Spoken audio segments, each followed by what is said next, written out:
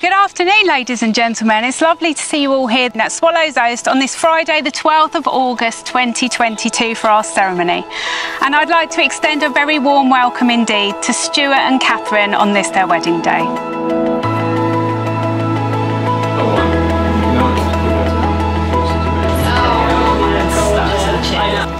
And so, Stuart and Catherine, you've declared before us all here today that you'll live together in marriage. It therefore gives me very great pleasure indeed to announce that you are now lawfully husband and wife and you may kiss your beautiful bride.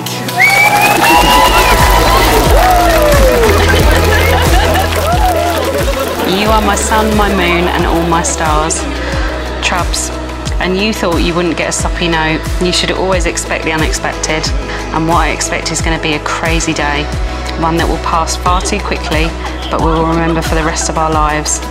I'm genuinely about to commit to my best friend, my rock, my confidant, my matching jigsaw piece, and so many other cheesy titles, but I can't imagine not spending the rest of my life with you.